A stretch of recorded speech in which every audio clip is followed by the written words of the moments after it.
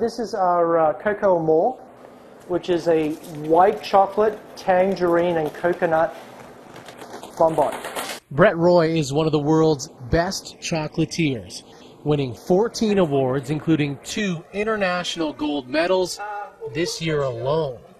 There's just one problem. It's a consistent thing that a lot of people still haven't heard of it. Tucked away on the main floor of the Commerce Building downtown, Roy fills orders for clients around the globe.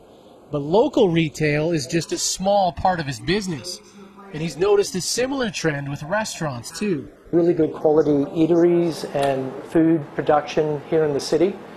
But I, I see them getting written up elsewhere, but I don't hear about them myself here either. So it's a, uh, I think it's a common thread. On Thursday, Air Canada issued its list of the best new restaurants in Canada. Three of them are from Edmonton.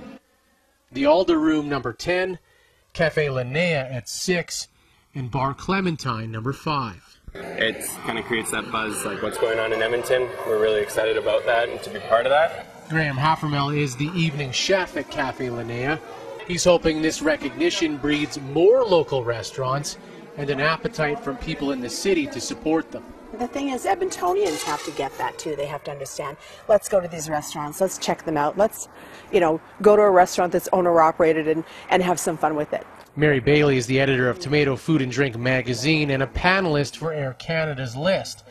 She says a claim outside Edmonton only goes so far.